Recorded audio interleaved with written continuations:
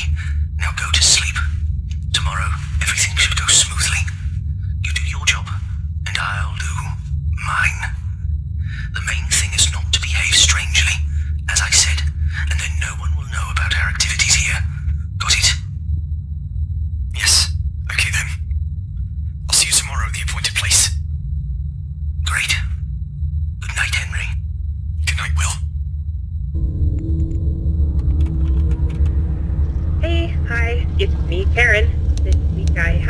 My shift early, so I can't stay longer to meet and talk with you. So I decided to leave you an audio cassette every day before I leave. Our boss has appointed me to inform you about the rules and how to behave in some special situations that relate to your new position. Alas, due to some recent incidents, the management demanded a guard for the night shift. I know you've been hired as a costume briefing assistant, but trust me, out of all the other staff, only you can handle this position. Salary will be good, no doubt. Also, if you can finish this week without any problems, then you'll also be given a voucher for some free pizzas. Good, isn't it? I want to warn you right away that if there are violations of the rules, your salary may be lowered or you may even be fired. So please listen to what I tell you, okay? The most important thing in your job is that you do not allow any damage to the equipment or other properties of. So, I would advise you to simply stay in your seats unless necessary. Only resort to extreme measures if you notice someone or something breaking into the pizzeria from the outside. There have been no such instances, but just in case, then we want you to act as carefully as possible. I want to note that the cameras record everything that happens in case something does not go according to plan. Now let's talk about the office and your personal safety. In front of you, there is a video surveillance system on which you can observe everything in the building. There are mechanical doors on the east and west side that you can close in case of an emergency or... Oh yes, I forgot to remind you.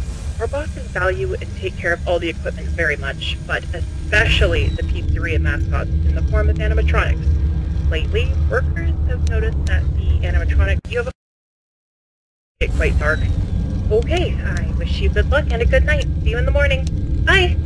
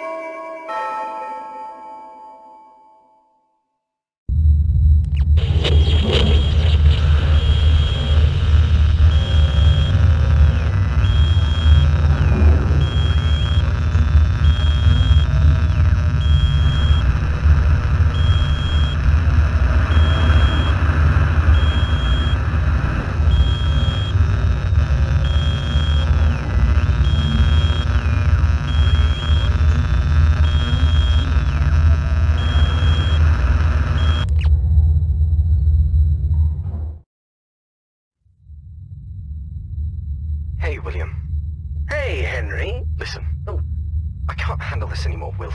I... Wait. I think... What? I can't help you anymore with your actions.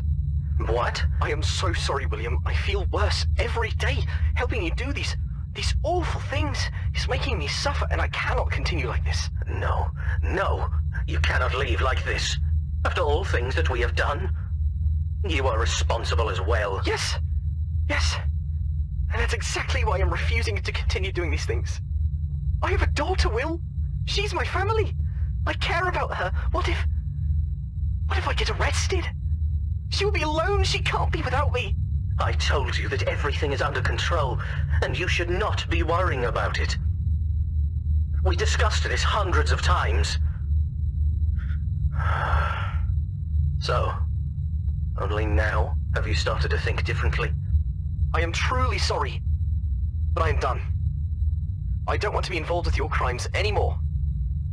But in return for letting me go, I will tell no one what you and I have done. I will keep my mouth shut. I still can't believe you are doing this.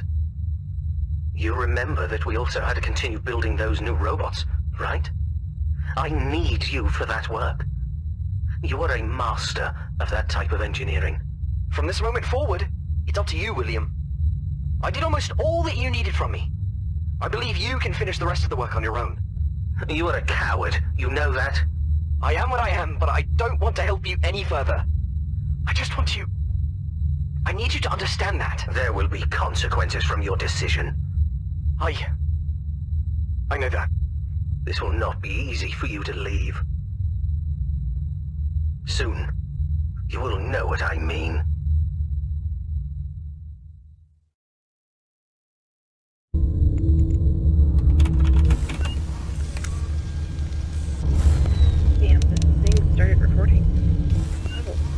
Yeah, hi, hi. It's Karen here again. Here comes the second night.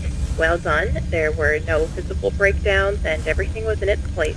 I still believe that by the end of the week, you will be able to finish your shift without any problems. Unless, of course, uh, some vandal or thief breaks in, but that probably won't happen. Have any of the animatronic characters started to move? I wasn't able to watch the reported camera feed today, but since you didn't report anything, everything is probably alright. Uh, I think. While I read, don't forget to check the cameras, as it's really important that you keep your eyes open the whole time. Okay, let's see. Founders of Fredbear's Family Diner are two people. Henry Emily, Chief Engineer of Robotics, designer and creator of all main animatronics, and William Afton, who also works in the robotics field and is mostly responsible for the financial statements of the establishment.